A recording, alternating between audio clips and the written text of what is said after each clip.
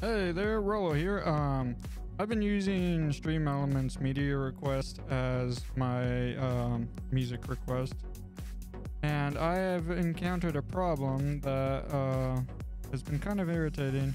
Uh, the song will just randomly restart in the middle of it, and, or pick a place and just start playing from there, and that's quite annoying. So uh, I am gonna show you how I fix that. Now, this is not a tutorial on how to uh, set up media request.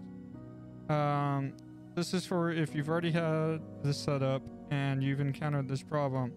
Now, instead of going through the overlay tool like you did before, we're just going to go ahead and take this URL here and copy this.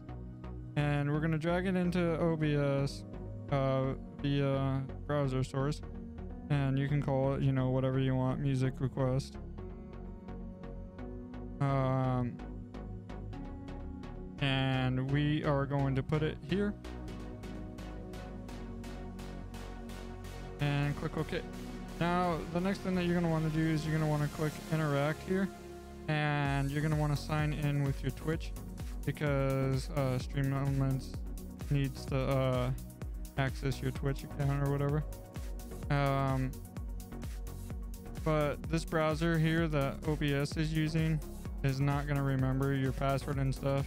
So you have to enter your your Twitch credentials and stuff. And then once you get that through, um, all of your stuff should work here. Uh, the only difference is it doesn't have to go through the overlay before it goes to OBS. And that's what I think is keeping it from creating that uh, playback error.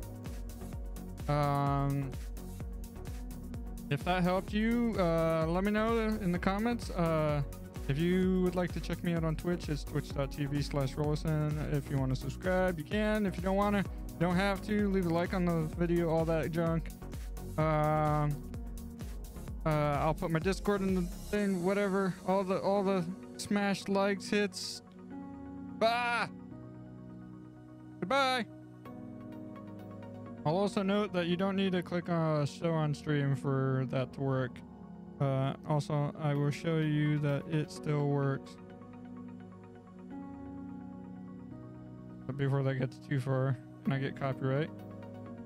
Um, anyhow, thanks for watching. Goodbye.